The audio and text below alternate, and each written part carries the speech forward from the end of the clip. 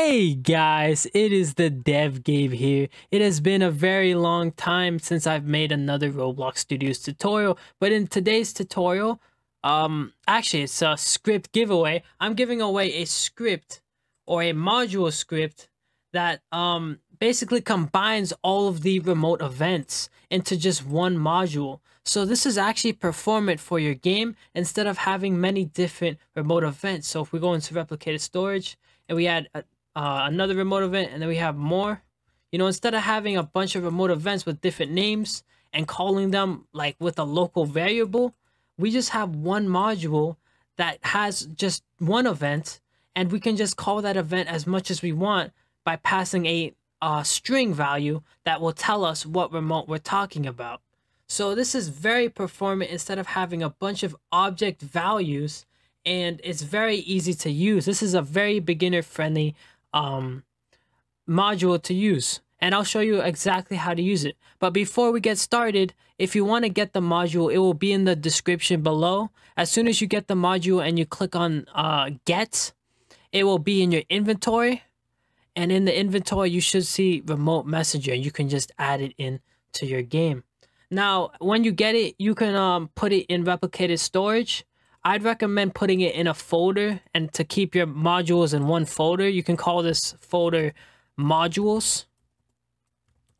And you could put all your modules that you use because usually people use more than one module. You could just put that module in there. And now we can actually test this out. So let's get a script and a local script.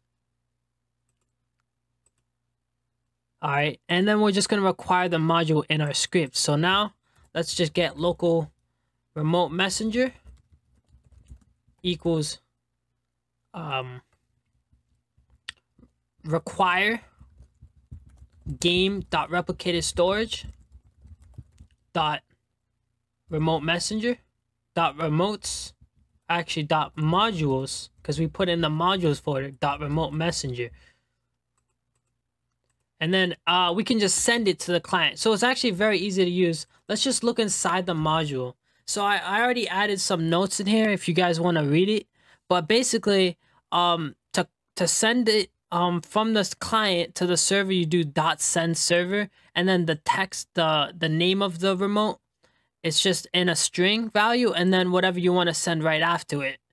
And then on the server side, you can just do add listener. You don't have to check if it's on client events or on server event. You just do add listener and it's just one add list um one connect uh, operator and then you could just pass in the function and it will connect. So it's very very easy to use. And then if you want to disconnect it, you can just make a local variable and then call that variable just as like you call a function and we'll call it off. So it's great. And like we also have bindable events in here. Uh, it's not just remote events. We have um, it's called restore and transfer. So a bindable event is from script to script, and then um, or local script to local script. So if you want to uh, communicate from you know, the same scripts, you can use a bindable event. Now, if you don't know what these are and you don't understand what events are, you should try to watch some tutorials um, on YouTube. If you really need a remote event, you would need a remote event to communicate from client to server or from, uh, if you're using a bindable event, you can communicate from script to script. Okay. And you can look at here, these are all of our functions that we're going to be using to call now, what we're going to be using to call into the local script, let's say if you want to make a chat message, we can use something called send uh send all clients or send client. So let's just do um send all clients because we don't have a specific player. So we can just do thread.send all clients. So in our script, we want to communicate to the local script. We do remote messenger dot send all clients and then the command name. So the command name is just what we want to call our remote. We can just call this Bobby.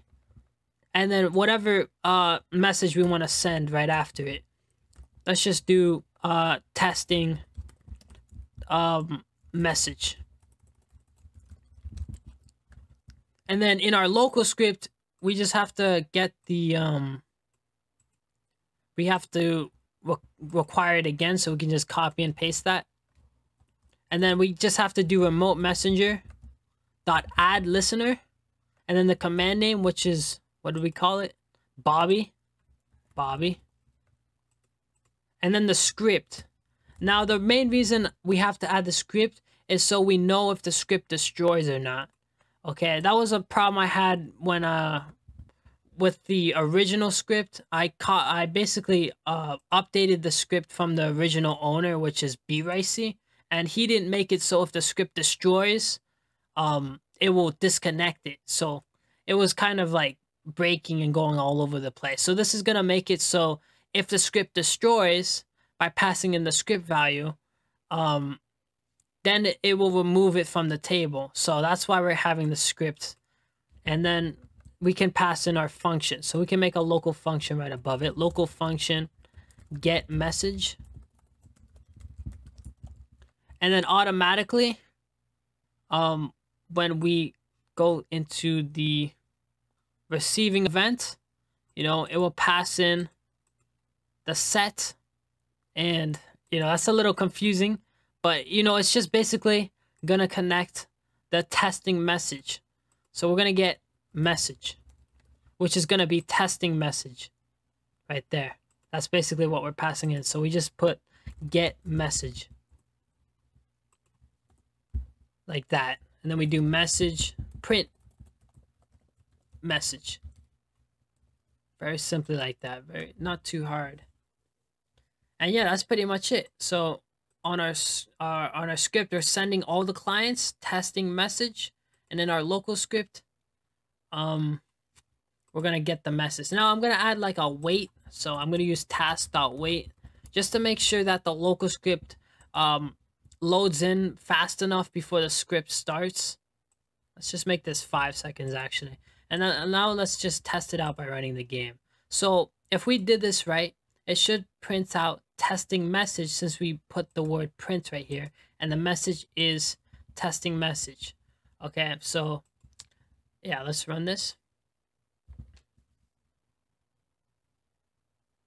All right.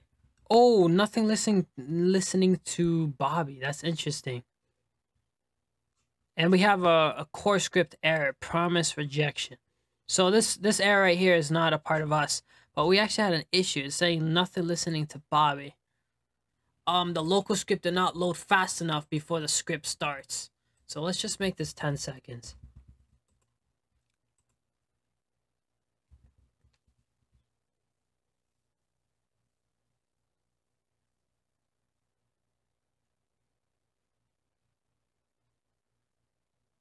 Alright, now we're loading in our game.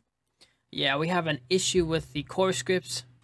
Something with promises. Promise module is pretty advanced. And now it says testing message. So it's just because um our local script did not load in fast enough. That's why it gave us nothing listening to Bobby. Because um the local script wasn't loaded in quick enough to actually connect it to Bobby. And yeah, this was sent to all the clients because um it's just like fire all clients. So this was sent to every single client's local script. Whoever has this local script. And we're, we're going to know everyone has this local script because, um, oh, where do we put, oh, we put this in starter character scripts. So yeah, since we put this in starter character scripts, it's going to go to, into all the characters. And when we look into workspace, in our character, we're going to have the script, local script. We didn't name anything. But yeah, we can we can also use other functions in here as well. It is very easy to use, guys. It's just basically adding a listener and calling the list calling the name with the command name. And you can do send client, send all clients. You got to make sure if it's in a local script or a script or a server script. So you got to make sure that you know that you're using the right one. And if it's from script to script, you can use bind send, which is basically uh, bindable events. So yeah, you can definitely utilize this module. It is great to use, guys. I definitely recommend it. I hope you guys enjoyed today's tutorial or a script giveaway, and I hope that this guy, uh, this module helps you guys out. And I'll see you next time, guys. Bye-bye.